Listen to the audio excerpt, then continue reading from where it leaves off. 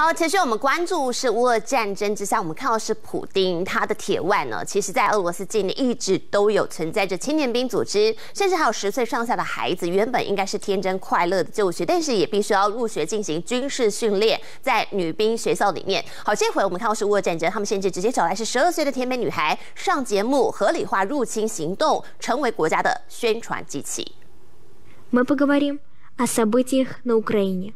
好，直播观众，五官精致的十二岁俄罗斯歌唱神童苏菲亚，穿着蓝色荷叶边上衣，还绑着两条辫子，上面缠着浅色缎带，像是俄罗斯娃娃的梦幻打扮。但她竟然是俄国官方用来进行大内宣、战时宣传的手段之一。清纯形象上节目大谈入侵乌克兰的行动，全是为了保护在乌克兰的俄国人。同时还说，网络上现在有很多影片都是假的，就是俄罗斯官方想要透过镜头来和其他同样的年幼俄罗斯孩童。来宣导合理化这一次的入侵行动，但还刻意使用甜美形象的小女孩来包装，这样的手法实在让人不寒而栗。